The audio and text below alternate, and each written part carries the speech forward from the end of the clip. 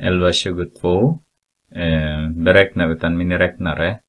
Eh, förresten 22 för eh, matte 1A röd och matte 1A gul. 1121 för matte 1B, matte 1BC då. Vux. Okej, okay, ska vi titta. Eh, beräkna utan räknare. Så vi börjar med A. Då har vi där 2 addera med 5, multiplicera med 8. Som jag har sagt innan, om ni ser parentes, börja med den. Multiplikation och division efter. Och eh, sedan det sista är addition och subtraktion. Så har vi 2 adderar med 40. Och då har vi 2.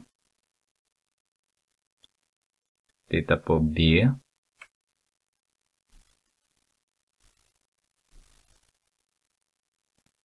Har vi 5 adderar med 2. Multiplicera med 4. Så parentes först. Så har vi 7. Multiplicera med 4. Då har vi 28. C.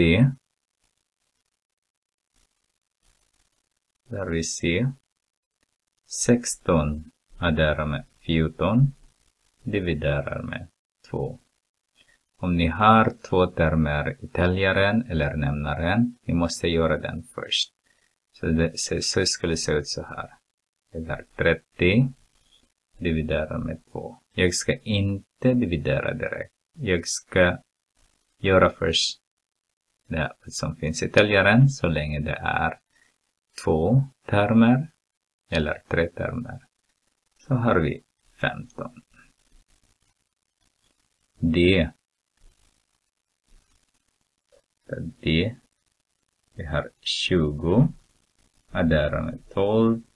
Dividera med 5. Addera med 3. Som jag sa innan, vi måste först eh, räkna täljaren och nämnaren om det är två termer eller mer.